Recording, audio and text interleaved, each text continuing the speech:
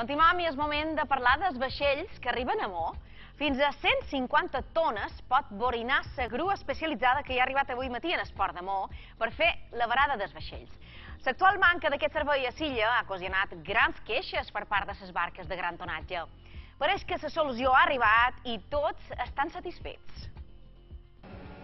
Hace unas semanas hicimos la varada y entonces hemos aprovechado para cambiar los ánodos, revisar el casco, pintar el casco, revisar hélice- hélices, hélice de proa. ¿Esto cada cuánto se tiene que hacer?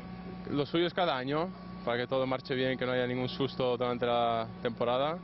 Deixar l'obra viva del vaixell revisada i enllestida és obligatori com a mínim una vegada a l'any per a aquestes embarcacions d'esbarjo que estan a punt de començar la temporada. Però la mànega i el pes d'algunes d'elles fan que sigui a dia d'avui un problema per la manca de mitjans. Avui eh, és el moment que fem la botadura dels barcos que fins ara pues, eh, hem estat arreglant a través d'aquesta grua que ve especialment per, a, per, aquests, eh, per, per nosaltres som set barcos que necessitam aquest tipus de, de grua per poder treure i poder tirar a la mà tant la botadura com la com la varada, vamos, el que és. Perquè aquesta grua no hi ha una grua ara mateix aquí d'aquestes dimensions, per embarcacions d'aquestes dimensions, no existeix aquí a Menorca ara mateix. No, no, no. Uh, ja fa, no sé si és el tercer o el quart any que ells venen a través d'un un que ho organitza, que és en Tino Salom, i, bueno, sembla ser que serà el darrer any que haurem de mestir aquesta, aquesta grua. En els anys anteriors nosaltres vam arribar a tenir tres grues, de, de grues eh, mòbils, però després eh, la crisi va obligar a tenir que reestructurar les empreses per poder ser adaptar a les noves circumstàncies.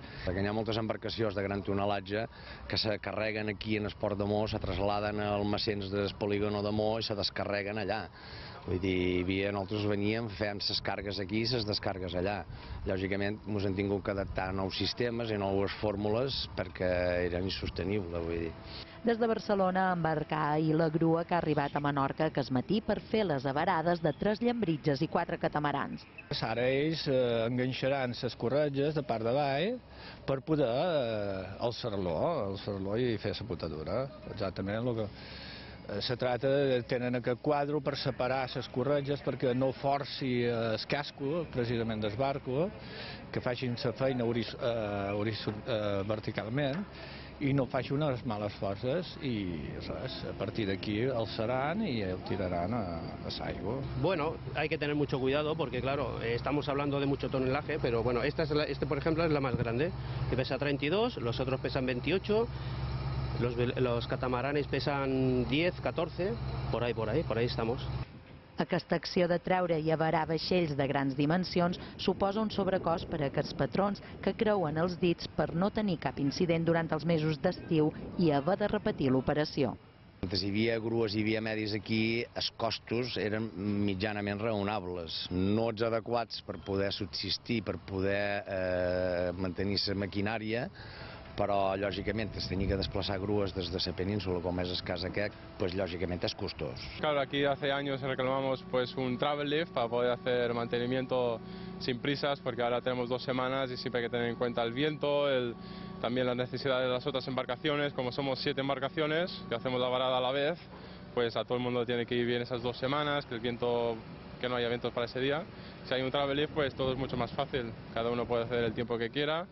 Y eso es la idea con la autoridad portuaria, pues nos dicen que, que llegará el travel, pero bueno, eh, a ver, cada año dice lo mismo, a ver si es verdad este año. La demanda que es fa des de fa temps sembla ser que la fi veurà la llum. L'autoritat portuària confirma ahir que té previst que a finals d'abril s'instal·li al verader del Port de Maó una grua especialitzada per hissar embarcacions de fins a 150 tones, apostant així pel model d'altres ports i del que es podran beneficiar moltes embarcacions que no hauran de sortir de l'illa per ser reparades.